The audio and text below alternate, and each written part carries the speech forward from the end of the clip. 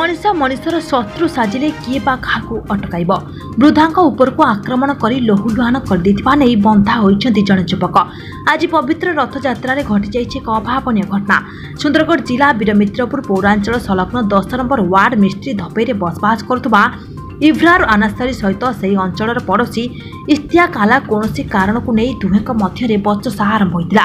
ଧୀରେ ଧୀରେ ବଚସା ଏତେ ମାତ୍ରାରେ ବଢ଼ିଯାଇଥିଲା ଯେ ପୂର୍ବ ଘଟଣାକୁ କେନ୍ଦ୍ର କରି ଅତ୍ୟନ୍ତ ଉତ୍କ୍ଷିପ୍ତ ହୋଇ ଇସ୍ତିଆକ ଆଲାକ ଏକ ଲୁହା ଛଡ଼ରେ ଇଭ୍ରାର ଉପରକୁ ଆକ୍ରମଣ କରିଥିଲା। ଗୁରୁତର ଅବସ୍ଥାରେ ପରିବାର ଲୋକଙ୍କ ସହିତ ସ୍ଥାନୀୟ ବାସିନ୍ଦା ତାଙ୍କୁ ବୀରମିତ୍ରପୁର ସରକାରୀ ଚିକିତ୍ସାଳୟକୁ ନେଇଥିବା ବେଳେ ସେଠାରେ ଡାକ୍ତର ତାଙ୍କର ପ୍ରାଥମିକ ଚିକିତ୍ସା କରି ଅଧିକ ଚିକିତ୍ସା ପାଇଁ ରାଉରକେଲା ସ୍ଥିତ ଆର୍ଜିଏଚ୍କୁ ସ୍ଥାନାନ୍ତର କରିଥିଲେ। ଖବର ପାଇ ବୀରମିତ୍ରପୁର ପୋଲିସ ଘଟଣାସ୍ଥଳରେ ପହଞ୍ଚି ତଦନ୍ତ କରିବା ସହିତ ଇସ୍ତିଆକୁ ପଚରାଉଚରା କରିବା ସହିତ ଥାନାରେ ଅଟକ ରଖିଥିବା ଜଣାପଡ଼ିଛି।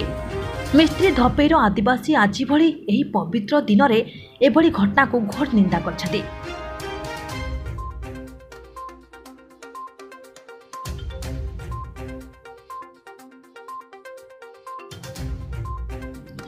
ଅଧିକ ଖବର ଜାଣିବା ପାଇଁ ଆମର ଚ୍ୟାନେଲ ଏକ୍ସପ୍ରେସ୍ ଟ୍ୱେଣ୍ଟି ଫୋର୍ ନ୍ୟୁଜ୍କୁ ସବସ୍କ୍ରାଇବ୍ କରନ୍ତୁ।